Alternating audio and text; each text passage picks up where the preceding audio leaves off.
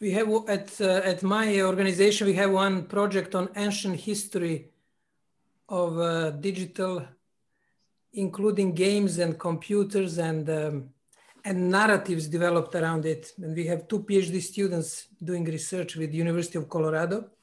Mm-hmm, mm-hmm, mm-hmm. it's very interesting to see how little in a way has changed in some way while we have many other changes. Well well i have a a bit of history on my table. So I'm in the office right now. So a bit of history on my table. If you can see, it's uh, right Ah, here. that's it. Is it AT or XT? Uh, it's uh, Olivetti, so it's in between of XT and AT. It's Olivetti M24 uh, and uh, actually, uh, I got it as a gift for my birthday because it's exactly the same, or very, very same computer um, which was infected, where I turned to the computer virus research and cybersecurity. That was exactly almost the same computer. So actually, I had a gift with this computer, uh, and uh, actually, it is infected with the same virus. So this floppy disk is infected with the same computer virus. Il est 8h30 en Europe. Great intro, Eugene. You really provide us with a historical context. Now that's we have to see what will uh, happen, what is happening now, and what will happen in future. As Churchill used to say. I think my first computer was an Atari 800 with a tape, cassette tape drive that uh, was hard to, to get any viruses back then. It wasn't popular enough. Christopher and Eugene, I am worried that we are revealing our age with this information. You know. Too late on that one, I think. Do you remember what's this? Oh, those are cards for the. Oh my God, that's. I took a class at uh, at Johns Hopkins learning how to program on those in uh, in Fortran, and then Lisp. Eugene, it is uh, 82, 83? Uh, 80s. 80s. Do you remember this? Of course. Let me see if I have something. okay, I have some funny stuff here. I highly recommend everyone goes to the Bletchley Park Museum. Uh, that has not only uh, the rooms rebuilt where they broke the uh, the Nazi codes, but they also have a museum of computing history that has hard disks the size of like your car and other things there. It's great. Oh yeah, yeah, yeah. All worth seeing. Uh, I'm not sure about other museums, uh, but in uh, Munich there is a very first uh, electric computer which was made by German guy. What was the name of that guy? The, it was like a, the name of computers was Z1, Z2, Z3, like this in 40s during the Second World War. So I had a picture. I'm staying in front of this computer, then a computer is the oh, the electronic calcul electronic calculating machine. That's it. Christopher uh, uh, has a, a, lovely background uh, from another machine which determined is, the outcome of Second World War. This is the original Colossus, the first digital programmable electronic computer that broke the Lorenz code, the Nazi high command Lorenz code, and the Brits kept it secret until the mid 70s. So I think they lost their their leg up by that, but it's great. It's, you can see this at the Bletchley Park Museum. Uh-huh, uh-huh. Cool. Well, I hope the Chengetai will uh, will tolerate our historical part of our session, or we should uh, we should be moving into into media res. I'm waiting okay. just for him from Chengetai. Moving from the past to the future. Yeah you know what Churchill said, uh, uh, in order to look forward, you have to see, to also see backward. That's, that's that interplay, which is always important. It's exactly, especially when you're speaking about technologies and uh, the human behavior technologies. Have to predict what the cyber criminals are going to do next. Okay, so learn what. I, I think you can start now. Actually, we're four minutes behind. Yes. Thank you, Chengetai. Uh, uh, great for uh, all of the all of you. I really enjoyed the, enormously this intro and some sort of time machine with um, um, our panelists today, with the Eugene, with Christopher, and other colleagues. and what we started as with some sort of message that in order to see forward, we have also to re reflect on history and the past uh, especially in this interplay between technology and security. And my name is Jovan Kurbalija. I'm the head of uh, Geneva Internet Platform uh, and uh, director of Diplo Foundation. I used to be co-director of the high-level panel on digital cooperation. It's my great honor to be today today here with you to introduce uh, our panelists through the through the uh, uh, time zones and through the way what they're seeing now. I'm connecting from the quite ghosty building of the UN here in Geneva. It's empty, uh, not only because of pandemics, but it is almost 7, 7.30. We have uh, two of our colleagues in, uh, in uh, um, uh, day, daytime zones. We have the, Izumi Nakamitsu, the UN Under Secretary General of Disarmament Affairs, connecting from New York. And we have Christopher Painter, President of Global Forum on Cyber Expertise. Chris is connecting from Washington, DC. Chris is uh, one of the first uh, cyber uh, diplomats uh, in the, from the US administration. Then we have uh, um, two panelists who are making real efforts to join us uh, in the this night zones. first, Eugene Kaspersky.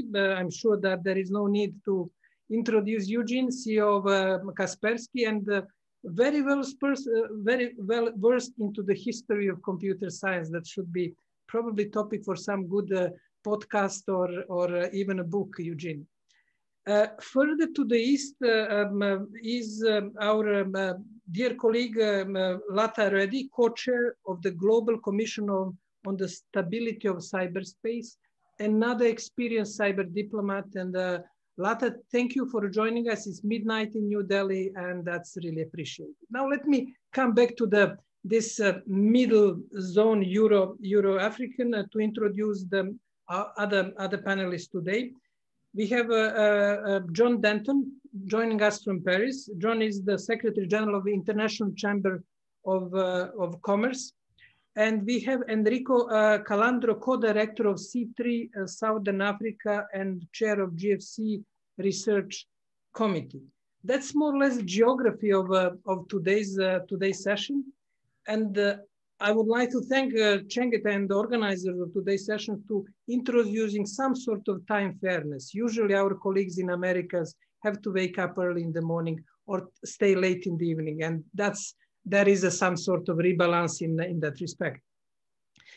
Now, today's uh, major topic for our discussion is, uh, is the question of cybersecurity. And uh, I will just try in a few minutes to paint the canvas or backdrop for our discussion today before I pass the floor for our eminent speakers and an excellent panel. Well, we are all familiar uh, with what is going on around us and how the digital technology help humanity to have uh, some sort of uh, societal business continuity over the last seven or eight months. Uh, thanks to the robust digital infrastructure, students continue studying online. Uh, we uh, were provided with even rather simple facilities, but important in the times of lockdown of ordering food or working online. And sometimes it is given how the technical infrastructure, how the digital infrastructure really sustained in this difficult time. And I think we should be proud, all of, especially those of you who are involved in ensuring that uh, digital technology function. It is the major, major achievement. In this process of uh, uh, changes, uh, what has happened, digital companies, tech companies became uh, more important, more relevant, and more dependence on the digital technology creating new vulnerabilities. And we will address them, address them in a few minutes. Therefore, this is the general uh, backdrop. Now, more specifically, cybersecurity issues and digital policy issues are raising in relevance in uh, forums and international meetings uh, worldwide. Now we are finishing the first week of Internet uh, Governance Forum and um, uh, cybersecurity has not been picking up so much. Probably there was a need to have this uh, important session uh, and then to have more discussion on cybersecurity next week. Now, before I pass the floor to our, uh, our panelists, I would like to ask Luis to pose the, the, put a survey to see what is the atmosphere in the room when it comes to the question of uh, cybersecurity vulnerabilities? I hope that technology will serve us. If not, we'll be moving directly into discussion. Luis. Okay. Well, the question is, as you can see, is the current turbulent times for many, the internet is essential to work, relax, and stay in touch with family and friends. How secure do you feel online, regardless of whether you use the internet for professional, family, or leisure? Bit long question, but what is your feeling about security of the internet? You feel very secure, secure, not particularly secure or insecure, unsecure, and very unsecure. Let me see what will be the, the answer from our colleagues here in the room. Unfortunately, those who are following on YouTube, and I guess there are more of them on YouTube, cannot participate in this survey. Okay, we'll be getting the news soon. And uh, in the meantime, we'll be seeing from Luis what is the result. Okay. Well, we feel quite secure, not particularly secure, unsecure, very unsecure. It's a typical distribution when you ask this type of questions, but the answer is somewhere in the in the middle, and we will uh, will see if reality is also also uh, distributed in the same way. Okay, this is the general backdrop for our discussion today, and we move with the uh, first intervention from uh, Undersecretary General uh, Nakamitsu. Um, Zumi, the question is, what do you see as a threat to international ICT security posed by COVID-19? What are the main priorities or main concerns uh, at the place where you are. You are in the middle of the uh, negotiation, different policy processes on cybersecurity, sometimes complex, as we know, there are two parallel processes. What do you see as the, as the threats uh, for inter international ICT security? Over to you.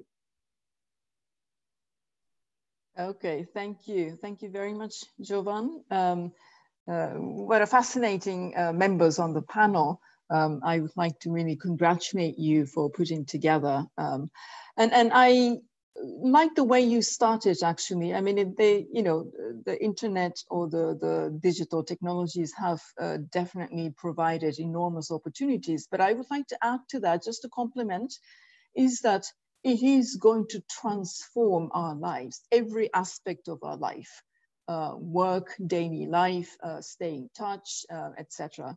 Um, what we are now experiencing is a transformative changes uh, that is happening around the world. And, and that, of course, has an impact on where I am actually sitting. Uh, I am um, responsible at the responsible for international security and disarmament issues at the United Nations. Um, of course, the downside of this uh, positive, um, you know, generally positive ICT technologies uh, during the crisis is, of course, you know, this uh, change has been also accompanied by enormous spike in, in cyber incidents. Um, and, um, you know, uh, the ITU, the International Telecommunications uh, Union, has estimated that internet usage has increased during the pandemic by something like 30%.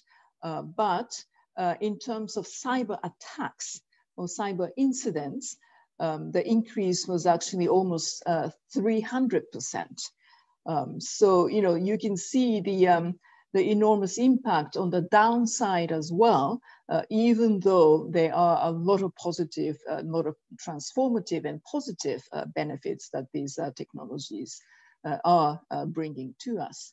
And of course, our deep uh, concern is the mounting malware campaigns against critical infrastructures, and especially during the COVID crisis, um, you know, hospitals, medical research facilities, and other institutions uh, over, the, over the past several months. And, and that includes uh, the World Health Organization, for example. Uh, I'm told that uh, WHO has reported um, experiencing more than five times the number of cyber attacks than in the same period last year. So these uh, incidents are obviously compounding people's already widespread sense of insecurity around uh, their health, uh, livelihood, and, and, future. Of course, the ordinary people uh, are experiencing, you know, this uh, rapid uh, increase of phishing, spear phishing incidents, um, um etc., the malware, you know, emails, etc. Um, and of course, um, what we are wondering is whether this would also have a deep impact on more hardcore international peace and security issues um, of um, the, the, the, kinds of uh, cyber attacks that we are um, seeing, we are witnessing, um, is of course stopped short of a, a, a traditional uh, use of force type of situations. It's not a kinetic scene, uh, but um, it is increasingly posing a very difficult questions as to what it is that we are actually looking at in terms of a very uh, serious cyber incidents that could potentially happen impacting on critical infrastructures that are um, uh, you know, deeply uh, uh connected or uh, related to stability and security of, of our general environment. Um, so this is for this, this reason, the Secretary General Guterres has indeed drawn attention to cyber attacks during the COVID-19 pandemic. And he has been repeatedly calling on the international community to do more to prevent and also end uh, cyber attacks on critical civilian infrastructure, including um, healthcare facilities. Um, I will stop here for now and, and looking forward to um, you know, more in-depth discussions uh, in terms of what we need to do uh, to uh, making sure that first and foremost prevent and also ending cyber attacks. Thank you, thank you, Undersecretary. Thank you, um, uh, Izumi, for great uh, painting of the landscape, including rather shocking numbers about discrepancy between raise in the use of the internet 30% and the 300% in the cyber cyber attacks. Numbers are useful to give us some sort of bearings of the of the overall situation, and definitely we'll be coming back to the quite a few points that you raised in introductory statement on the actions from the UN Secretary General, on the actions and activities of your office, which are uh, very very important for the global global cyber cyber security. There was one interesting comment uh, coming from the uh, Amir Hossein uh, he commented on my uh, sort of map of the time zones and he introduced the first uh, interesting point that cybersecurity threats are as diverse as the time zones. This is just one, one challenging point for our discussion. Do we discuss the same, similar, or diverse type of cyber challenges? Now, uh, there is no need to introduce Eugene. He introduced himself uh, greatly about, the, about the, uh, this survey of history of computer, computers and uh, it triggered a fascinating discussion in the chat with mentioning of Fortran, COBOL, uh, Sinclair and other, other tools. I can see that uh, the age distribution of the current panel is, is more to those of us who used to start using computers in 80s and 90s. But we would like to hear also from the from younger generation about their, uh, their concerns. Eugene, uh, you have been, your company has been uh, providing really deep, detailed summary of cyber attacks and, uh, and the painting of the current landscape. And you have this uh, excellent, useful tool that we use, for example, for our courses when we teach cybersecurity on the, what is the current uh, threat situation could you, in a in a uh, in your first intervention, help in uh, painting this uh, overall uh, current cybersecurity situation based on the both data and your general insights, and then maybe a hint to some actions that you have been um, suggesting or taking, and then we will be developing them throughout the discussion. Over to you. Yeah, okay, thank you. Uh, well, actually, the the situation during the COVID time uh, in the cyberspace is uh, well more dangerous, of course, obviously more dangerous than before. Uh, and uh, well, actually, there are two factors which uh, activate the cybercrime. Uh, the first factor is that many people they stay at home, so they spend more time in the internet. Uh, so the bad guys uh, they they they have they can easily hack the more victims than before. The second factor is that many enterprises, well, most of our companies, they send employees home uh, but they are not able to guarantee the same level of security as in uh, within the corporate perimeter. Uh, so the people are left at home with some uh, basic security, but they can access the enterprise network. So the, the criminals, they use this uh, to hack, they, they, they hack their uh, home computers uh, to access uh, the enterprise networks. that's why we see there, also we see the increase of the number of the hackers attacks, the activity of cyber criminals. and actually we have quite a detailed data even for countries, uh, because we have our customers, uh, they are based in many uh, countries around the world. So we see our sensors, see the statistics of the criminal activities. Uh, so if you want to uh, see more details, just visit our website, uh, securelist.com, and there's a statistic page, so you can see this data there. speaking about the malicious code, I will say that uh, it's about 20, 25 increase in numbers of new malicious applications. Uh, so before COVID, we were collecting uh, about 350,000 new malicious applications, new malicious files a day. So every day, about 350,000 new malicious files, which we never saw before. Right now, we collect more than 400,000 malicious files a day uh, it means that the global cybercrime is getting more active. And actually, I don't know how many people are in, uh, in this business. Uh, 10,000, 100,000. Well, actually, the, the numbers are huge. Uh, number of the attacks and different the different tools developed by the bad guys. Uh, so the, the global cybercrime is massive, but uh, in most of cases, uh, that's uh, technically it's not really a problem to protect uh, protect people, protect uh, computer, smartphones, uh, devices from this kind of attacks because most of them they're junior, so they're not too much complicated. so technically speaking, it's not a problem to release the antidote for this kind of computer malware or cyber malware. There, the rising problem is that many of these uh, junior cyber criminals, uh, they're getting more smart, they are getting more experienced and they join professional hackers team or they lead, they create the new uh, highly professional cyber gangs. Uh, and at the moment we are monitoring, it's about 200 of uh, professional cyber gangs which develop uh, quite uh, uh, sophisticated cyber attacks. And they're able to hack even very well protected organizations like banks, governments. So actually this is a problem to protect uh, the system from their targeted attacks, highly complicated, sophisticated, uh, and unfortunately, in some cases, very successful kind of the malicious tools. And uh, at the same time, speaking about the physical systems, the infrastructure, the critical infrastructure, uh, well, we, we have uh, more and more reports that uh, Uh, the criminal gangs, uh, they access, they, they try to, well, not it's not targeted attacks, but they try uh, to they touch uh, infrastructure, they touch the SCADA systems which are connected to the internet. And uh, uh we don't have too many reports of the targeted attacks on the systems. it seems that they just, they, they see that they're not just uh, individuals, not just uh, the computer networks, office networks connected to the internet.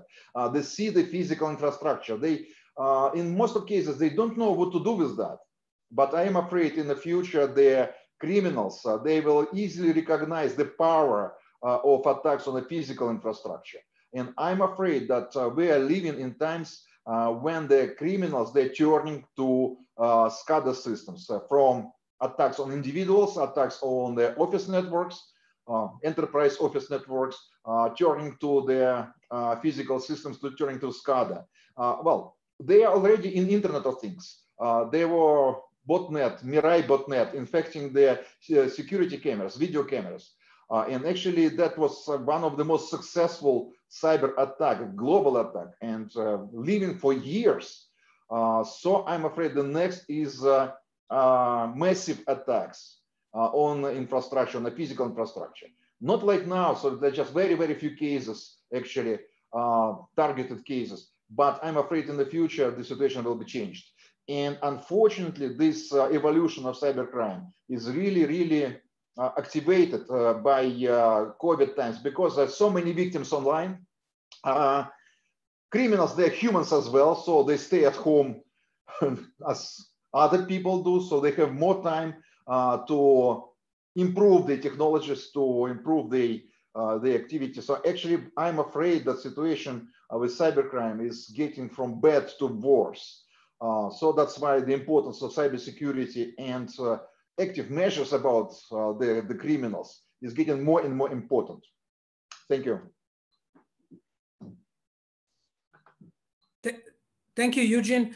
I hope that we have the uh, vaccine for the, this type of the virus that is uh, coming into into our uh, computers but this is the question that we may re reflect later on. You introduced quite a few uh, uh, important uh, elements including this increasing vulnerability in dynamics between home and and the office which is completely new element also element of professional versus newcomers into the cybercrime field this is the profession in itself, which has its own uh, logic and dynamics and uh, subculture, like all criminal organizations. Therefore, we may later on reflect on, on it uh, and on it a bit more. Uh, we are in the well uh, similar time zone, moving a bit east towards uh, towards the Latha. Latha. We are now getting these threads into our tapestry of today's session with the Izumi bring the, the links from the UN Eugene from the, let's say, trenches of the cyber, uh, cyber security where he is protecting many computers worldwide. And uh, we would like to hear from you on your experience as cyber diplomat and also person involved in geopolitics. Therefore, we are connecting now individual business level to the global level. Over to you, Latha. Thank you so much. Uh, uh thank you. Uh, uh thank you, Jovan. And given my background as a cyber diplomat, as you described me, for me, the key problem or challenge uh, is now the difficulties in advancing dialogues on preventing cyber attacks, uh, even in a critical area like the health sector. Uh, because, you know, if we can't agree on a norm to say that attacks on the health sector are unacceptable during a global pandemic, uh, then really the purpose of international cooperation is not being served very well. Uh, in the present tense geopolitical climate and the tense relationships between major powers, it's very hard to focus on really vital international cooperation in policy issues. But cyber has never been more important, and dialogue on cybersecurity has also never been more important than it is today.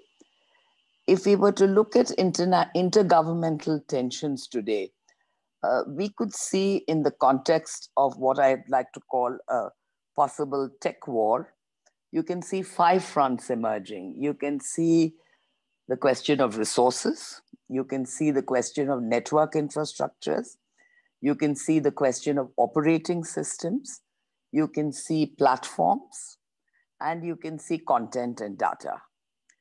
There's, I would say, almost at the moment, a Cold War like situation prevailing between uh, major powers. Uh, but fortunately, due to globalization, we do not have an iron curtain between the opponents. The curtain we have today is flexible, porous, and not opaque. Perhaps we can call it the bamboo curtain uh, to quote Nitin Pai of Takshashila. I like this term. Uh, in other words, we can find a way to cooperate, provided everybody agrees that this is a global challenge and agrees that in pandemic times, certain things must be out of bounds for cyber attacks. How, how can countries cope? We should continue our dialogues on internet cooperation, uh, internet go governance, on international cooperation, and possibly on safeguarding the health sector through a universally agreed norm.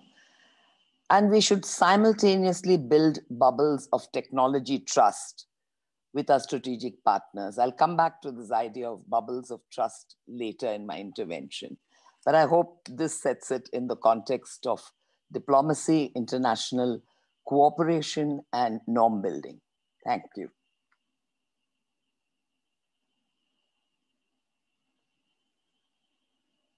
We have a Cold War in making, but there is no Iron Curtain yet. Diplomacy facilitates dialogue, but not uh, as effective yet as it should be. Focus on the norms in the most critical sectors like uh, health sector and develop uh, more cooperation. Great inputs in, uh, in uh, our, uh, in making all this cybersecurity canvas vivid and relevant. Now from the UN uh, business sector, uh, geopolitical uh, aspects from Latvia, we are moving to again to business sector, but to John uh, Denton, Secretary General of International Chamber of Commerce, place where I guess many questions and some complaints around cybersecurity are coming from Chamber of Commerce worldwide and also small and medium enterprises. Uh, John, what would be your uh, uh, input on this question? What are the major cybersecurity challenges that we are facing uh, in COVID-19 crisis, especially from the business perspective? Over to you. Uh, well, thanks so much, Jovan. It's great to be on the panel and it's great to be back at the uh, IGF. I'm sorry we're not there in person, but it's just the way it works. Um, maybe I can put it a little bit differently. I actually see a paradox. Uh, let's, let's be very clear. So the International Chamber of Commerce, we're the institutional voice of 45, 46 million businesses now. Uh, and we know that COVID-19 has had a real and dramatic impact on what we call the real economy. And the real economy is actually the way in which SMEs, micro SMEs interact, and they've been subject to extraordinary supply shock and demand shock. We've seen collapse of supply chains.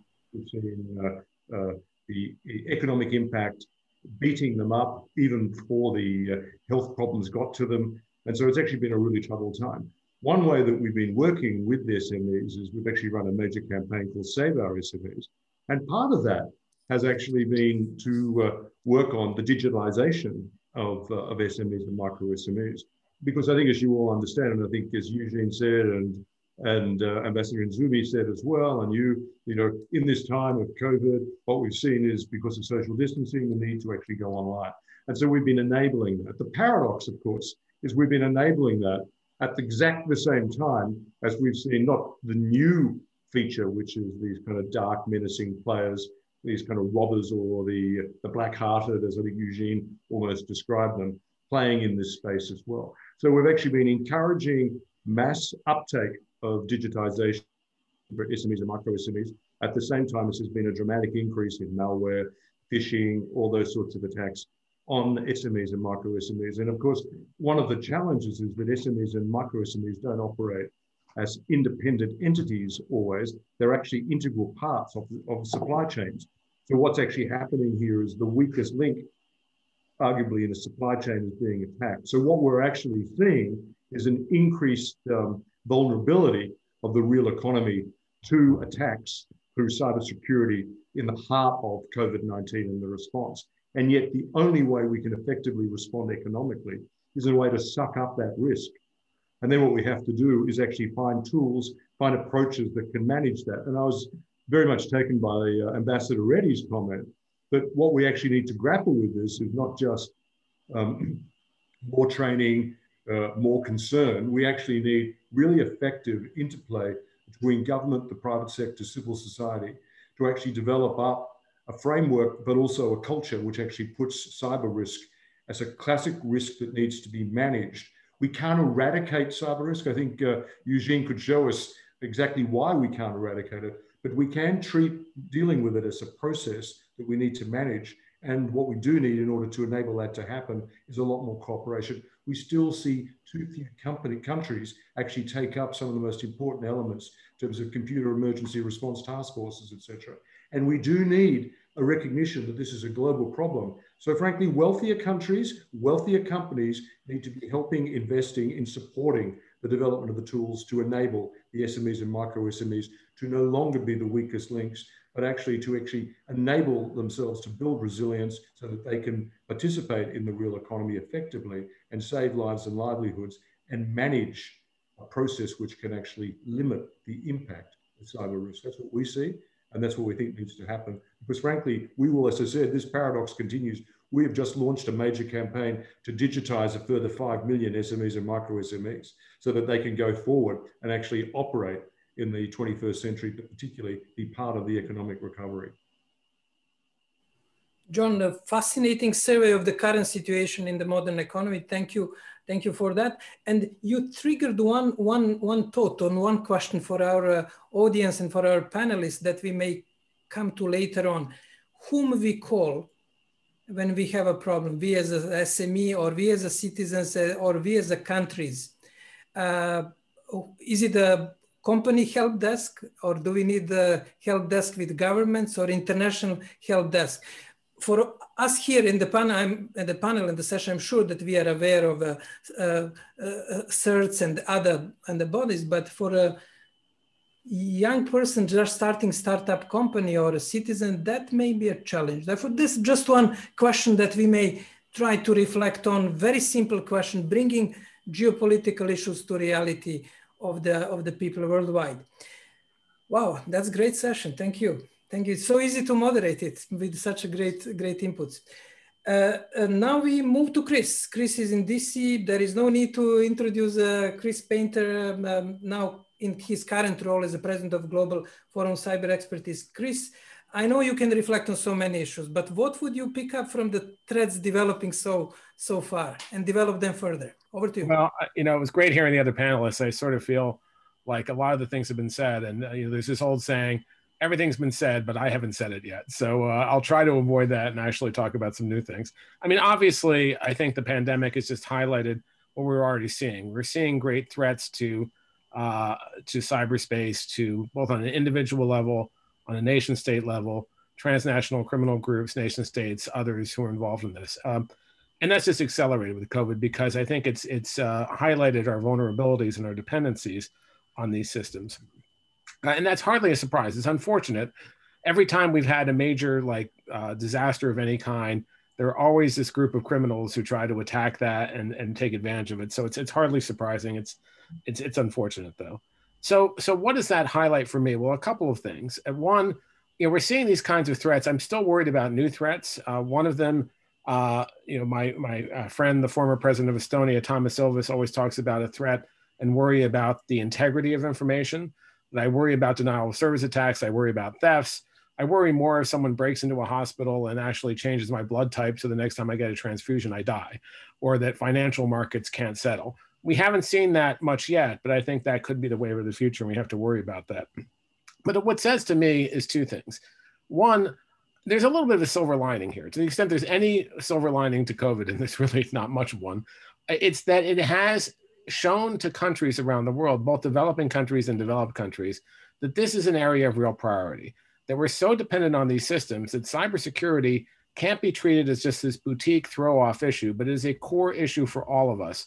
And it needs to be treated as a core political issue, a core issue that is a national security issue, uh, an economic prosperity issue, a human rights issue, and also ultimately a foreign policy issue. Uh, in, in, in terms of diplomacy, back when my office was created back in 2011, we were the first ones in the world at that time dedicated these issues. They're about 40 and growing around the world, and that's important because it's being treated not just as this technical issue, and the technical aspects are clearly important, but as a policy issue.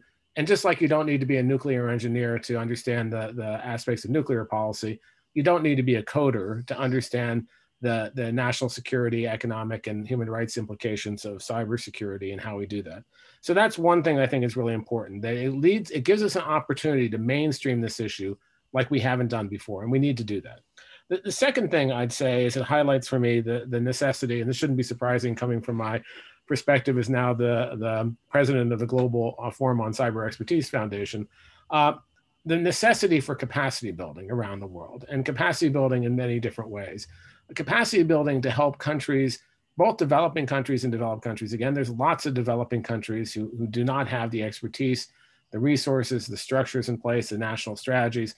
We have to work with those. And that's something that uh, my organization, which is a multi-stakeholder organization, which includes uh, nations, you know, like 60 countries, over 60 countries, civil society, the private sector, academia, has been really focused on trying to coordinate some of that capacity building, but also the kind of policy capacity building that's around, you know, how do you engage in these diplomatic debates that are happening in the UN that Izumi and, and others have talked about. So I think we need to be able to do more on that level too. So So it gives us an opportunity to do that, but we need to really, again, treat capacity building and cyber as not some odd duck, but really as a, a core part, a foundational part for our future prosperity and a foundational part of the UN's development goals as well. The, the last thing I, wanted to touch on was uh, just talking about the role of diplomacy. And I, I do think diplomacy and the negotiations that are happening now are critically important. I think the norms that were agreed to in 2015 are critically important. We need to continue to get those implemented around the world and understood around the world. The confidence building measures, spreading those through regional and other organizations, critically important. How international law applies is important to all of our safety and security and stability going forward. But we also have to make sure there's accountability for transgressors. And, and I don't mean escalatory accountability. I mean accountability so that you know we hold account those who break these these rules, these understandings. Uh, but we need to think about the, how we can do that as a world community. And, and, again, I think that goes hand in glove with developing the rules of the road. Is how do you you know how do you make sure that there's accountability for those? Uh, and and lastly, I just say that that again all folds into this idea of capacity building, which is the discussions in New York. Almost everyone mentioned this, and that was pre-COVID. And now I hear it even more post-COVID, uh, where we're doing everything virtually, and and that's a good thing. You know, there's this saying, "Never let a good crisis go to waste." Uh, I don't want to be quite that crass, but I would say we need to make sure that we don't lose this opportunity, that people don't forget how important this is, and when we see these attacks on hospitals and others, that we actually have a way to elevate this issue to prime ministers, to presidents, to CEOs at companies uh, outside of the cyber club that we're all in. Thank you. Thank you, Chris. I think that we are doing very well on your plea to build the communication between different policy communities. We haven't been using uh, jargon. We did a bit the, in the pre-session with the history, but it was tolerated. But throughout the session, we stayed very careful uh, away from the technological or diplomatic or policy jargon. And it is a great, and I think we should uh, continue in the, in the same way. Uh, Chris, there is one, one potential controversial topic for discussion. While I completely agree with your view that policy circles, the leaders, diplomats should be aware and should be aware of the political aspects of uh, technology. We have to see what are the pot potentials of security by design and how far we can go with security by design. I know that Eugene has been uh, uh, thinking a lot and working on that, and we'll hear later on in the second uh, iteration about this interplay between security by design technical solution versus versus diplomatic political uh, uh, solution. Once more, thank you, thank you, Chris. Now in this this lovely interplay, we move to to technology again. Enrico Calandro joining us from uh, Cape Town. Enrico, what is your take on uh, on this discussion between policy, diplomacy, geostrategy, technology, economy? Thank you. Thank you very much, Jovan, for, for having me at this um, high-level panel. Um, I think it's interesting to see that actually there are so many participants online, uh, I would say at a relatively uh, late time in our time zone and also uh, towards East, meaning that probably people feel safer online than offline. or maybe that's unfortunately the result of these uh, restrictions resulting from COVID-19. But um, so the perspective that actually I would like to provide, I'm a so social scientist by, by profession. So uh, I, will try to describe how new forms of cyber-mediated um, processes can become a threat to human security. So I'm going to talk about people um, with a focus also on developing countries, because that's the focus of my activities and, and, and research. So uh, uh COVID-19 has shown to all of us um, that good quality, affordable and ubiquitous access to the internet is not a luxury, uh, but it's a critical lifeline. And in developing countries, actually access to the internet is still a, a luxury for, for the majority of people. So any barriers that actually stop us from using the internet in a safe and secure way threaten to strip us of this uh, lifeline.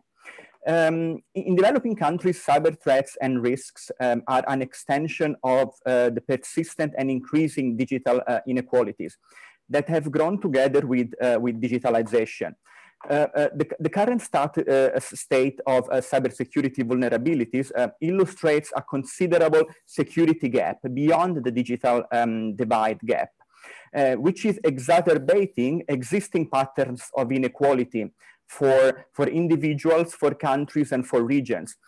Now, if we take a, a human-centric perspective to cybersecurity, I think that four main threats have become particularly problematic from a policy perspective because policy and political responses uh, have not been able actually to tackle these problems that there is some barrier also of, of, addressing them from a cybersecurity point of view that normally you know addresses issues of technical nature IT and computer and network securities and here I'm referring to uh, the so-called infodemic and the COVID-19 related cybercrime, online violence, and risks of increased state surveillance. So uh, these four phenomena have either emerged from the pandemic or have been uh, exacerbated with the pandemic or have compromised the response of different countries to COVID-19. So from the point of view of internet diffusion in the African um, continent, um, which is uh, probably, as we know, characterized by novel and first-time users that are using the internet through the mobile phone and primarily on social media, uh, I think it becomes clear that the population is highly vulnerable to infodemic. The, main danger of infodemic is that it speeds up the uh, epidemic process by influencing and fragmenting responses to fight uh, against the virus and the pandemic. Um, then partially related um, to, to, the infodemic and, and, and I think uh, certainly growing from it is the phenomenon of COVID-19 related cybercrime. And we actually uh, talked a little bit about that because infodemic can also be a vector of large scale cyber attacks. And that's what we have seen as well. So cyber criminals, you know, spread messages to plant uh, malware, uh, phishing credentials, or ask for Bitcoins donations. Um, but campaign of, of disinformation can actually facilitate cyber attacks also based on the exploitation of other human vulnerabilities, such as fears, anxieties, and they can also foment uh, racist and xenophobic behavior. Um, another pandemic, which I think has been exa ex exacerbated by the COVID-19 outbreak um, and increased internet use, uh, is the pandemic of online violence, and especially against women and girls. Uh, and also uh, against people experiencing um, multiple forms of discrimination and vulnerability at the intersection between gender, age, uh, education, and other uh, social demographics. So as digitalization becomes more pervasive also in developing countries, the reality that the, problem is getting worse, it's not improving. Um, the last threat um, is related to an increasing number of these tracking and, tra and contact tracing technologies to identify and support um, quarantine. Tracking and tracing technologies are important to find the pandemic, as we know, uh, but surveillance needs to be done in compliance with data protection regulation and uh, due respect for privacy and, and confidentiality. But it might be ineffective in countries with low levels of smartphone diffusion because people you can't you can't simply collect data and it can also place citizens at risk of privacy violation in jurisdictions with poor data protection frameworks or, or in countries that have uh, difficulties in enforcing these frameworks with, uh, with, with, with um, where the legis legislation is actually present. Thank you. Thank, uh, you, thank you, Enrico, for enriching what uh, what uh, Chris started with the human rights, societal, legal, and other aspects of cybersecurity discussion, which cannot be discussed in isolation and bringing infodemics and all of this concept. Our apology for uh, some uh, problems with the with unmuting, muting. Um, this is going to be definitely the keyword of the 2020 can you hear me or unmute yourself or mute? Therefore, I think it's now fixed. Uh, we have uh, all these threads from the first iteration of the of the your introductory statements. We are receiving quite a few interesting uh, questions, and I will just read uh, read them question and comments before I invite you to to to comment on the those few issues that uh, emerged in the in the first part of the session. Uh, Mike Nelson great regards uh, for, to, to Mike. Uh, he say two question, three words. We don't see the questions, but three words are encryption, digital, and ID. Maybe some of you can comment on this cybersecurity trinity. Amir Hussein Mokaberi, there is there are two camps. Some countries want to regulate cyber conflicts and some want to prevent cyber conflict recognizing the cyberspace as a fifth domain of war warfare rather than as a civilian and only peaceful environment will have to which camp? That's an interesting question, especially for those of you interested involved in geopolitics. Uh, Jacques uh, Beglinger, uh, great regards uh, to Jacques, drawing from the COVID discussion, should citizens, including corporate citizens, be patronized, enforced, sanctioned to protect themselves from cyber dangers, or should this be prohibited as a restriction of personal freedom, freedom of doing business? Well, we won't have a boring discussion. I can see, and I invite the, the our attendees, uh, including uh, one of the fathers of the internet, Vint best regards to Vint, uh, to uh, bring uh, their comments and, uh, and the questions. Now we are going to the second iteration of, uh, of the, based on the, these questions and the leads from the initial discussion. And we'll uh, um, um, ask Izumi um, Secretary Nakamitsu, could you tell us what has been achieved under the auspices of the UN? Izumi, you have heard many sort of inputs on uh, current situation, concern, threats and risk. What is happening at the UN and what we can expect from the UN in this context of answering the, some of these concerns? Over to you. Okay, thank you.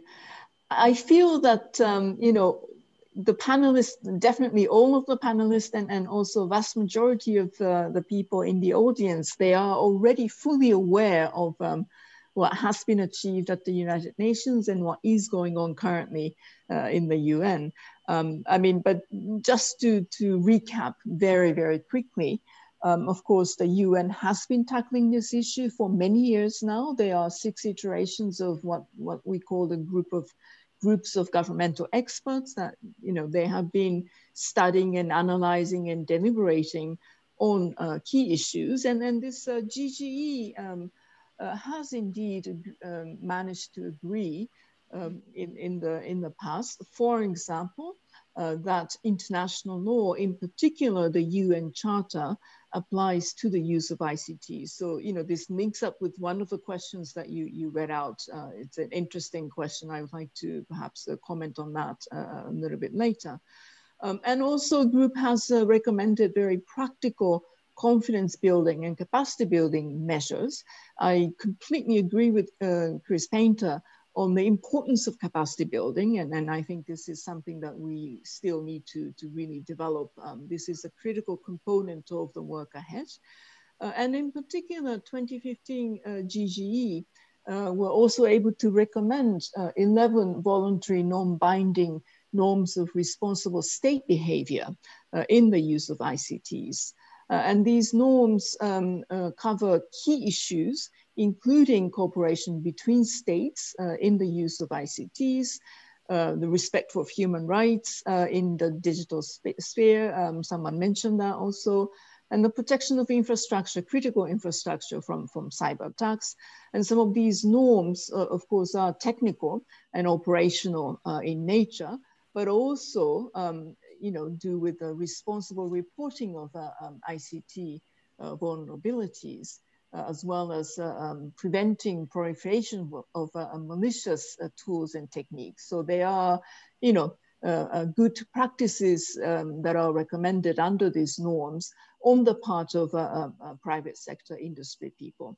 Now, um, in 2018, as, as you all know already, I'm sure, a new uh, GGE has been uh, established under the UN, and they are uh, in the middle of their work, um, you know, discussing especially um, the strengthening of the norms, but also confidence building uh, and uh, uh, capacity building issues. and of course, there is a new process, new platform that was established at the UN, which is inclusive. Um, it's called um, Open Ended Working Group.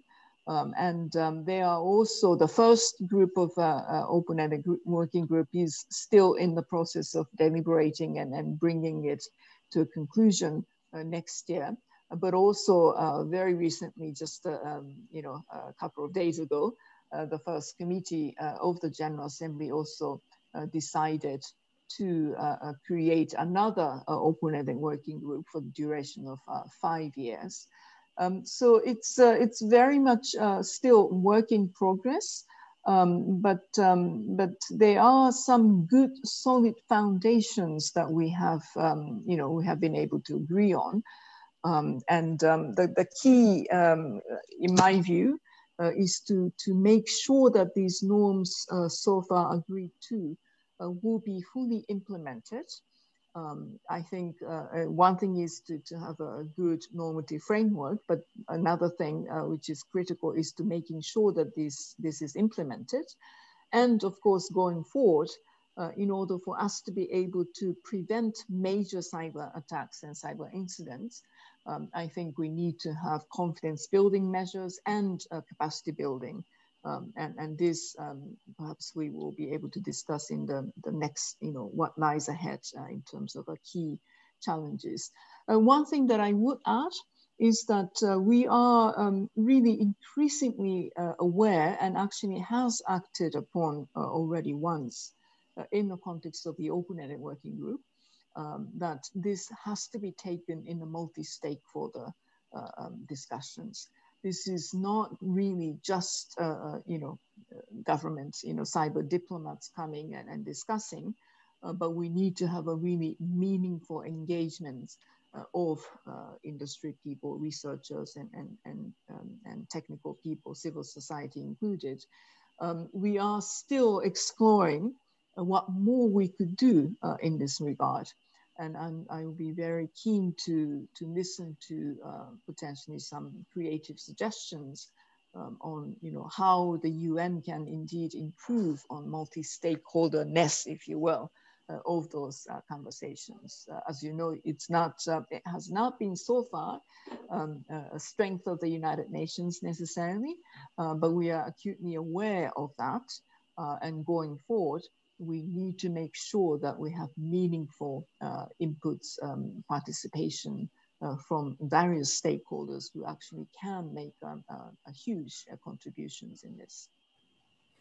Thank you. Thank you, Izumi, and thank you for your efforts to bridge all of these processes. Your office has been trying to find connecting points on capacity building, sharing information, and it's it's uh, fascinating to to bridge what, what is political reality and to do maximum out of it for the cybersecurity. There was one question maybe that could be answered later on by you or somebody else well, I would say by most of the participants, which uh, from uh, Charlene van der Beek from the from a diplomat here in Geneva, uh, which existing or new forum would be most appropriate in your view to make real global progress on addressing cyber threats? Which features should it include and which should it avoid? That's interesting question for the complete panel and I would like to invite others to think about it. Now we move to Eugene. Eugene, you you said uh, initially this very interesting discussion. There are many threads that you can pick uh, from this discussion and comment. Uh, personally, I would like to hear your view on this interplay between policy and technology, security by design. That one point, and maybe one point. I know you are very keen on capacity development, and you have your academy, Kaspersky Academy. What would be three points in the curriculum for diplomats and the leaders of the world that you would like that to teach them during one of the courses? Over to you. Yeah, uh, thank you for the question. Uh, and actually, uh, I have some uh, ideas how to answer some questions you, which you already mentioned. Uh, but in many cases, there is no simple answer, yes or no. Uh, in many cases, there's something in between. So yes and yes. and speaking about the importance Uh, of uh, cooperation against cybercrime, uh, how to fight, how to address uh, the cyber threats uh, issues. I think that there, there have to be three things have to be done: technologies, education, and law enforcement, including the international cooperation. so actually, I can well, I can speak about all these three three vectors of uh, um, three vectors of fighting the, the uh, cyber threats in the cyberspace. Uh, and well, speaking about the, the technologies, I believe uh, that, okay, so we, we, we know how to protect the computer systems and smartphones. Uh, and actually we can, we can guarantee very high, te technologies can guarantee very, very high level of protection. Uh, but if we turn to industrial systems, Internet of Things, uh, and uh, if we keep in mind that there are more and more and more such a, such a devices around us, gadgets, everything, uh, actually it's not possible to develop security, cyber security uh, for your uh, fridge, coffee machine, uh, vacuum cleaner, uh, security camera, etc., etc., etc. so actually, my idea, the major idea is that we need to develop the systems which are secure by design, and I call it cyber immunity. so actually, we have this the uh, this uh, uh, platform, the, this is operating system, which is quite compact. it's not multifunctional. It's not like Microsoft Windows or Linux. Um, no, that's simply not possible to build the security, true secure or immune scenarios based on these operating systems. Uh, so it's completely different uh, and it's good enough for Internet of Things. Well, actually what we do, uh, we design the architecture of the systems in such a way that it's simply not possible to hack it. Uh, but at the same time, these systems, uh, they are quite flexible. You can update it. Uh, you can install bad applications. so actually, it, it works. and we have the first, the first inter Internet of Things, the first cyber gadgets. Sometimes they are quite unique, which are developed on top of this immunity platform or immune operating system. what, for example, I just have it on my table. Uh, this is the industrial gateway, uh, which can uh, connect the industrial, the SCADA system to the internet um, in a secure way. So it's a gateway which is made uh, on this uh, immune, immune operating system. And we have some other stuff, uh, but I'm not going to make the advertisement on this uh, technologies and the products. Uh, well, actually, technically speaking, in for Internet of Things and for industrial system, for infrastructure, especially critical infrastructure, we can reach such a level of security, then successful attack will cost more than possible damage. So the bad guys, the attackers, they must invest more than possible damage at the victim side. Uh, so I, I named this level of security immunity. So for the uh, bad guys, there is no reason to hack the system. Uh, so technically speaking, uh, it is possible to develop such such a technologies which you can guarantee uh, that your uh, Internet of Things, your infrastructure, uh, your production lines, they're unhackable. Uh, so it's a first, it's about the technologies. And speaking about international cooperation, it's the first time I said about that it's it's a must to have international cooperation. That was early 2000. somewhere the same time, then there was a Budapest Convention on the cyber crime was uh, introduced. Uh, maybe I was the first to say Internet Interpol uh, to uh, investigate and uh, to find the bad guys in the cyberspace. so we need to have some kind of the international cyber forces to hunt for the, these guys. unfortunately, what's going on, the, the world is getting unfortunately more fragmented and uh, ge geopolitical situation is uh, very far from perfect. And I'm afraid the cooperation between different countries from different parts of the geopolitical landscape, in some cases they're getting worse. Uh, well, actually, I'm not politician. I'm not the president of the world to, to fix it.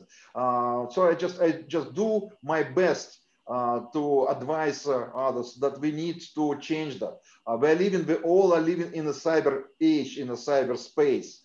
so to keep this place safe and secure, or at least to move into direction of the safe internet or the safe cyberspace, uh, we need to cooperate uh, and forget about geopolitical, the rest of geopolitical stuff. Uh, in the cyberspace, the nations must cooperate. Uh, to well because because once again we are living in the same cyberspace and we're facing very same cyber threats. Uh, and actually their cyber systems they're getting more important. The infrastructure, uh, critical infrastructure is, uh, depends on cyber more and more. Uh, it's vulnerable and uh, actually that's the way the world is being developed. it's it's it's danger. so we need we need to fix it. We need to create uh, the new uh, base, the new ideas how to build the more trust in the cyberspace and how to make nations to work together against the cyber threats. Thank, Thank you. you. Thank you. Thank you, Eugene, for uh, introducing. We have a great dictionary today, cyber immunity. We have uh, Internet uh, Interpol, which is now a bit uh, which, as you said, it's it's a historical need for digital for cooperation across across the board. In the closing, in the next iteration, you may you may give us also the answer to the, this question: What would be curriculum for diplomats and politicians on cybersecurity? Three three major points. We now move to uh, to India to to Latha. Latha, you introduced this interesting concept of trust bubble you may reflect uh, briefly on that or any question that has been emerging on, uh, let's say, on geopolitical aspect, on question of, uh, of uh, two camps. Uh, Amir Hossein uh, mentioned the two camps and how, to, how they contribute to the cybersecurity. Just pick one of these questions and reflect on it. But let us more, tell us more about trust bubble. This is an interesting concept. Uh, you know, the question of the uh, trust bubble, Jovan, was, uh, you know, to build lasting partnerships uh, and deal effectively with cybersecurity issues, we need strategic partnerships. Uh, that's what I call a trust bubble, or a in fact, we would call it technical bubbles of trust. Uh, what should each country expect from such a partner in a tech bubble? Firstly, you'll have to have political and strategic convergence. Uh, secondly, you would have to have trust in each other's legal and jurisprudence systems. Thirdly, you would have to have a broad based economic partnership across technology, trade, services, defense, and other key areas. And lastly, is there broad people to people trust between the peoples of each country? So I think that is absolutely uh, necessary if we are to go forward with this idea of uh, technology bubbles of trust, or in fact for strategic partnerships between countries. Uh, I think that uh, uh, you know the there are concerns today about uh, the technology of trade, for instance. Um, or, or trade technology. As we saw in 5G, vendors are no longer judged only on price and effectiveness, but also on location and geopolitical tensions. There are concerns about the country of origin and the prevailing legal systems in that country. Uh, and of course, the relationship with that country. Uh, therefore, it's no longer run purely on commercial considerations. And this certainly will present a lot of difficulties for sellers and buyers. And I think this is where the bubbles of trust will play an even greater role. I'm sorry, Jovan, I've forgotten the second question you asked me. Was there anything else no. you wanted me to comment on? No, uh, the, there was one question by Charlene, which was asked, what would be, there should be the fora? Do we need to create one one for to discuss cybersecurity, multiply where that coordination should happen on the global level. That's, let's say, policy geopolitical question. I think that was one of the comments in the in chat. Well, I certainly think that uh, we do need to coordinate our efforts uh, in so many different fora. You know, there is a huge multiplicity of effort uh, and uh, we are uh, having dialogues in so many different fora, whether it's the Paris Peace Forum, the IGF, uh, our own global commissions, which I worked on, and uh, any number of think tanks, etc. So, in one sense, it would be good to have a body come together where all these efforts could be coordinated and classified together. But uh, I think it'll be very difficult because at the moment there's not much appetite to create another international mechanism. And uh, certain countries would certainly be opposed to creating a, a global, uh, internationally recognized body uh, to deal with these cyber issues. Thank you, Latha. That was one of the question of high level panel that was probably one of the underlying and most challenging question. Whom to call to address your digital issues, not only cybersecurity, but in general digital issues, which is a huge challenge for small and developing countries. While big countries, uh, we have many for us, but we may get to that point uh, to uh, in the in the next uh, with with John John. whom businesses can call to address their digital issues and all of these concerns. Or you can pick on any any other other other points from our discussion. Well, well straight up, there's. Um, I think if anyone said there was one person to call, I, I think that there would be grossly misleading. Uh, so I think that's the first point to make. Look, um, I might just uh, open this intervention by saying this this this time 12 months ago, I actually was at the IGF and I launched uh, one of the uh, famous uh, ICC campaigns to make technology work for all. And I did that because we recognize, I think, as we all do, the, the digital divide. But the point I want to focus on today is there's also a, uh, a capability divide, which we actually need to think about in terms of digital capacity divide as well. And I think that's been touched on a bit by um, Eugene and also by Latha so far. Um, uh, the, the, where I'm getting to here is that um, uh, what we see too often now uh, and uh, is the absence of an effective regulatory framework, both at a policy level and at a legal level, to actually encompass and enable the kind of things that we want to see on cyber. And that's something that we see as a as a uh, an element which is missing, not everywhere, but in many many economies, and in many respects, even in some surprising economies. The private sector can do so much but in the end, to create these, these frameworks, these policy frameworks, which are capable of being implemented uh, by, by regulation and by law, we actually need governments to step up. And we still see too many governments without that capacity. And so the, the private sector simply cannot do the heavy lifting at all uh, on its own. Uh, but the point I would make there is that even in developed countries, and this partly picks up, I think, the comment that Izumi was made uh, much earlier on, if you want to develop good policy, even good policy frameworks in developed countries, you can't do it in isolation. Best policy always has a strong business voice in it and civil society, and in particular when it comes to issues like digital. Uh, and the reason for that is that ultimately we have to implement it.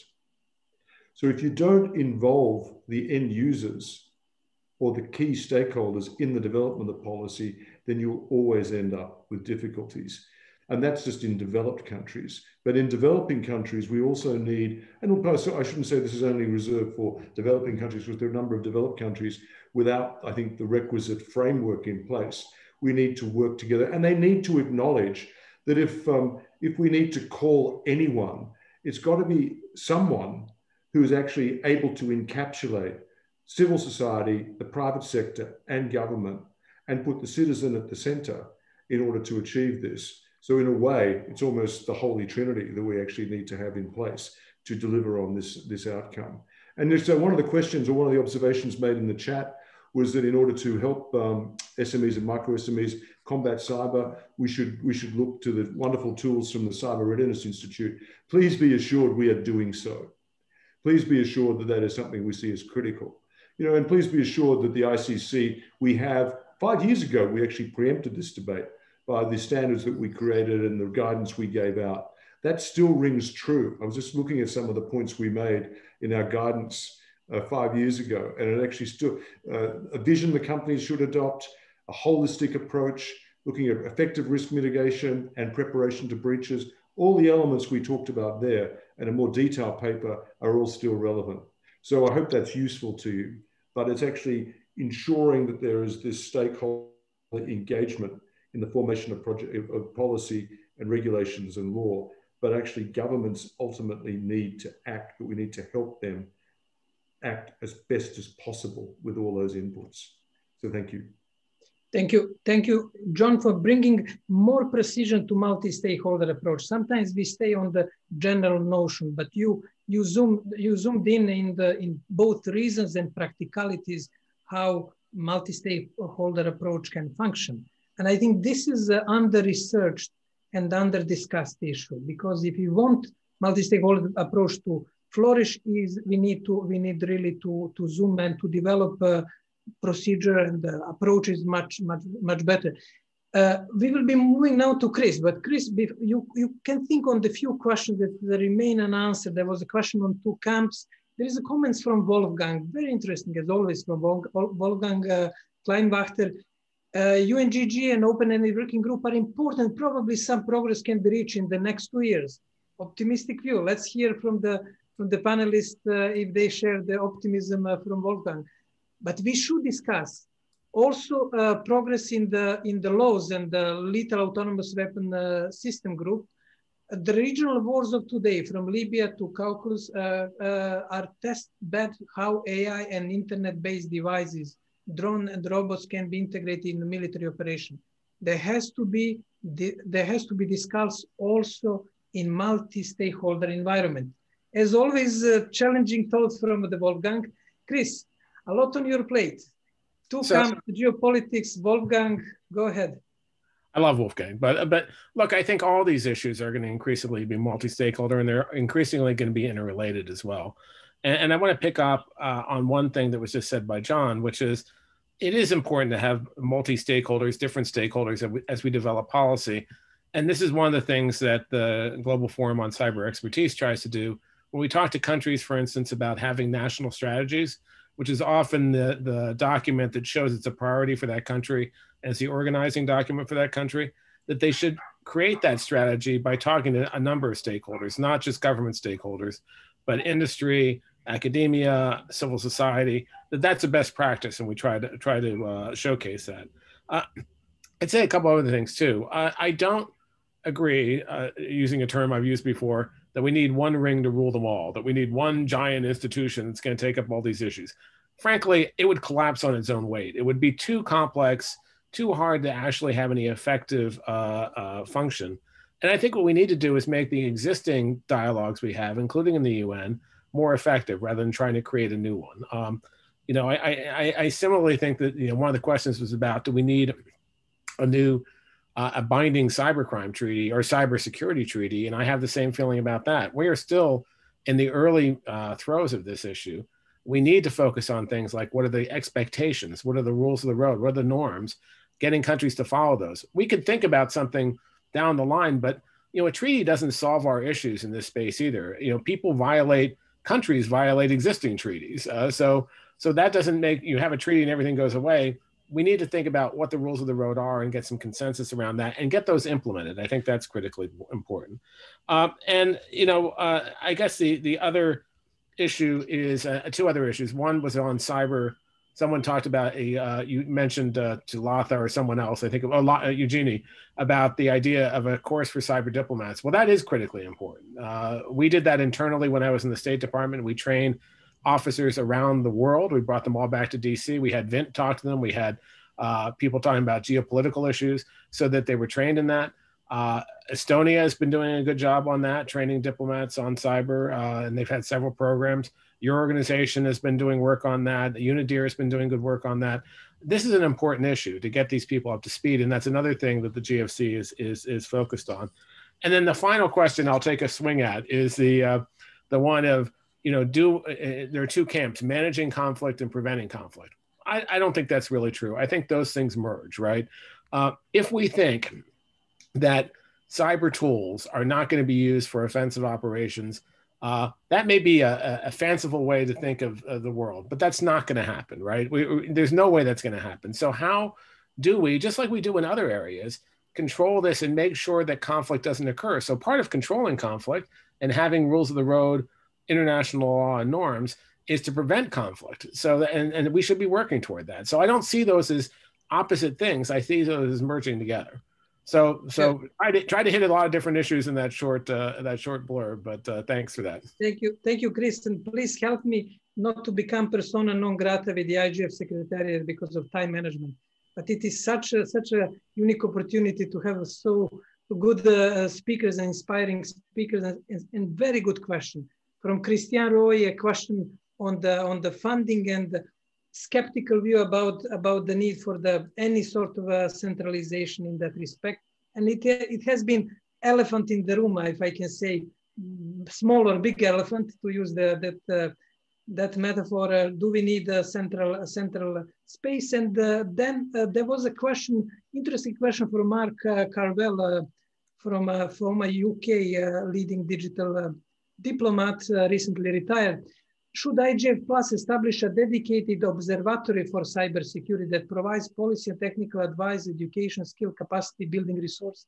This is an interesting uh, issue. Probably building inputs from GFC, other other existing initiative. Great work of Singapore, by the way, in the field of cybersecurity and training. Therefore, that's one of the one of the concrete question and suggestion. Uh, discussion is really moving fast in the chat, and we have 10 minutes now. Uh, I will just give a chance to uh, to Enrico. Enrico, uh, so many questions from discussion. Uh, uh, help me to to stay within the, the next 10 minutes limits of this session. With your your your comment, pick on any of the these leads in our discussion and and comment on it. Please go ahead. Yeah, thanks, uh, Jovan. I'll try to be uh, very brief. Uh, I would like then to to um, maybe to expand a little bit on uh, on this idea of the cyber observatory at the UN. So, um, as a researcher, uh, I truly believe that um, you know the uh, the domain of the of the cyberspace um, cannot be isolated by um, unique national and regional contexts that somehow can create uh, a distinct set um, of uh, challenges. And, and if it's through research uh, that you can uh, identify then different maybe priorities and mechanisms for, uh, for governing cybersecurity within national jurisdiction. So also, uh, you know, to fight against cyber crimes is a complex task that requires multilateral and multi-stakeholder dialogues. It's really important to understand, I think, through research, uh, the cyber threat landscape um, and uh, so that the response is really uh, designed in an evidence-based and, and, and, informed way.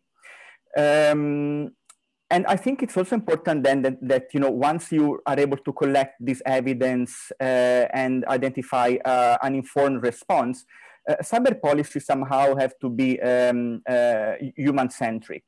So, um, you know, we, we do want to, to build more uh, resilience, but the first step is really then to empower the internet users, as a number of speakers uh, have said as well. And, and resilience can be seen as, as a function of capacity. And, uh, and so internet resilience, um, I think it's a function of, of cyber capacity. Um, as we've seen, you know, during the COVID-19 outbreak uh, and, uh, I mean, during the history of the internet, the internet infrastructure actually is, is a resilient um, network. Uh, you know, has been keep working under um, and under pressure and also under several attacks. It's still here, up and running, and it works every time better and better and faster. But uh, so what actually we do need to, to build is the human resilience because it seems that actually the human security at risk. Um, and, uh, and, and, you know, there is a problem of people's vulnerability. So um, I don't know if you, for instance, see developing countries, you know, the landscape there is that the technology is updated, it's not scrutinized, um, uh, there are very low security standards in devices, in practice, um, in software, and there are really no measure to uh, mitigate an advanced threat. So considering that, that the people can be the first line of defense against threat, um, is the most vulnerable, you know, that we should try to protect and, uh, and educate. And so uh, cybersecurity um, policy, I think it should really aim at providing safe and security access and use um, of the internet by building this human resilience and protecting, of course, the human rights online. Just one, final comment on uh, this entity, you know, that should somehow, uh, I think, create um, trust um, in, in, cyberspace. I think that, you know, in the current landscape of tension, um, the UN, from my perspective, is recognized by a number of countries, and especially uh, developing countries, as this kind of center of gravity. And I'm quoting here um, Dr. Mashabane from, uh, from South Africa. Developing countries feel they can really, you know, sit at the table um, of the UN. And so I believe that at that level, it's important to build a global consensus on the governance of cyberspace. But what needs to change from my perspective is that this traditionally multilateral mechanism should encourage a wider participation. Uh, both from developing countries that you know uh, that are not always capacitated to meaningfully participate um, in this kind of debates, and of course to have also broader dialogue with a number of non-state actors, including civil society organizations, the technical community, and others, so that all together we really can we can define you know these principles, norms, and rules for uh, for a safe and secure cyberspace that at the end is truly inclusive and secure. Thank you. Enrico, thank you. thank you for this. You have support from Christiane Roy on the human-centered cybersecurity. And you mentioned human security in your first intervention, which is somehow forgotten in the international parlance, but it is an extremely interest, interesting concept. I know it is supported a lot by Switzerland also because of the humanitarian aspect. Now, uh, Enrico, we will start with you.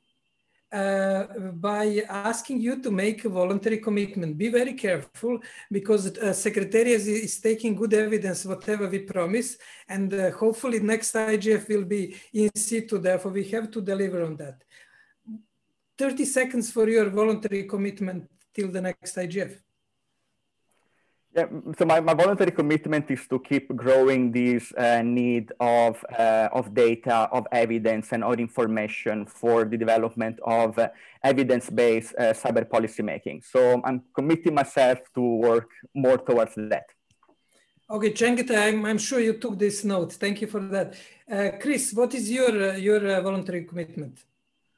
I'm going to commit on behalf of both for myself and my organization uh, to increase our regional focus in Africa and make our efforts more efficient and effective, and overall really raise the awareness and level, political level of cyber and cyber capacity building. We hope to hold a conference on this. It's still in the planning, so I can't announce it now, but I can announce what I just announced, and we'll, we'll do all we can to do that.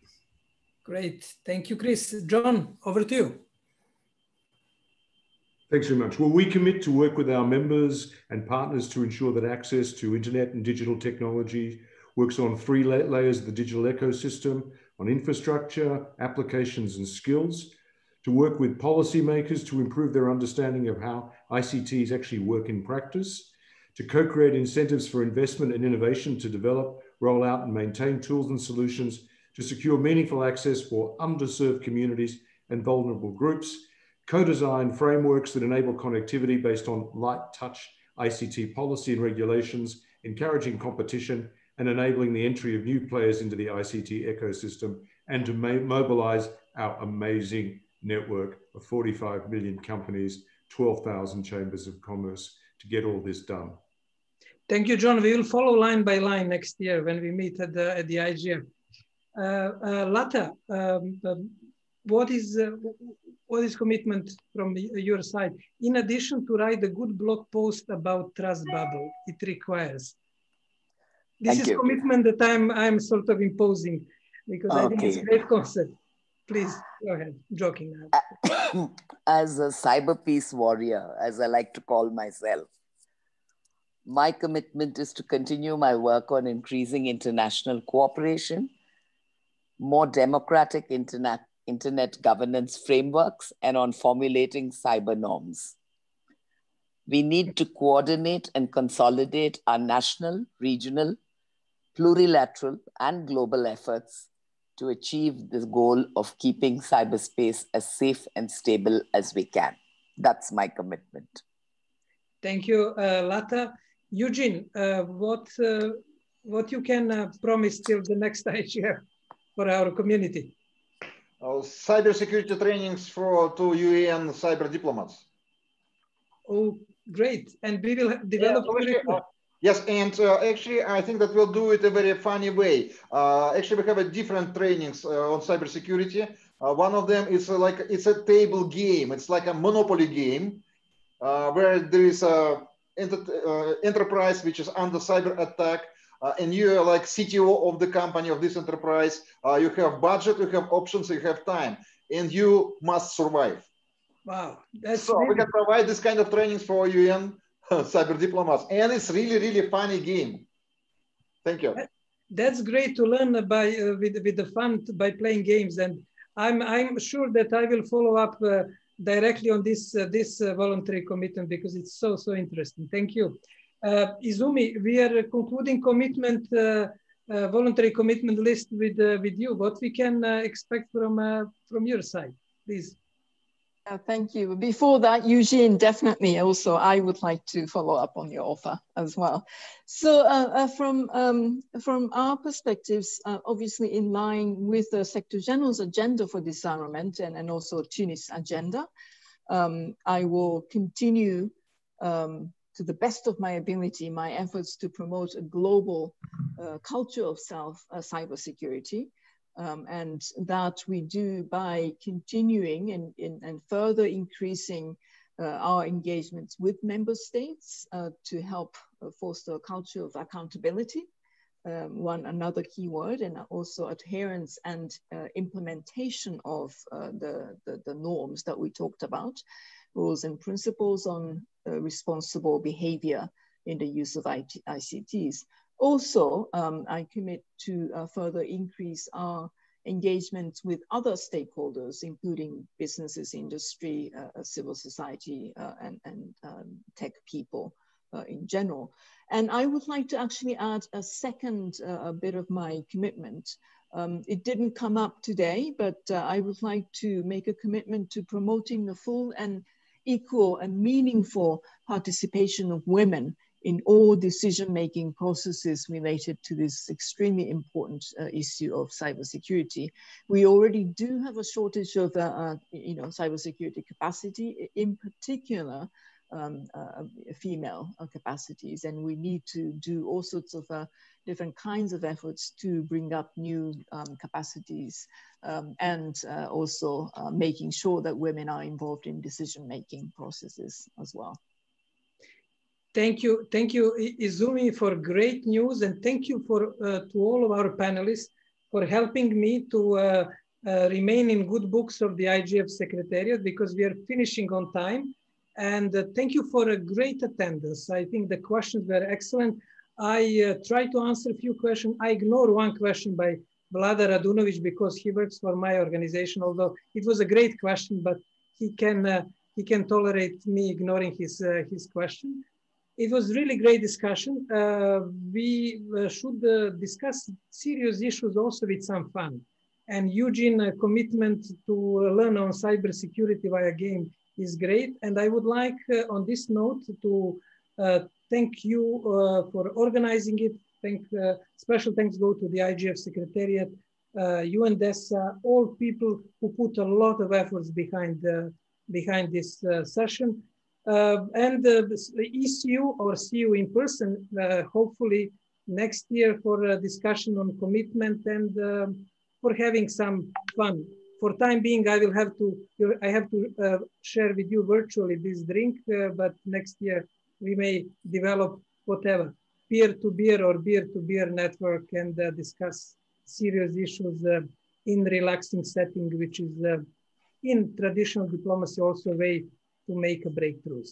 Have a nice uh, day, um, evening, uh, late night for uh, for uh, for Latha. It's almost 1.30 and uh, see you soon. Bye bye. Thanks. Bye bye. Bye. Bye. Bye bye. Thank you very much, Jovan, and thank you very much, panelists. Bye. Thank you. Thanks.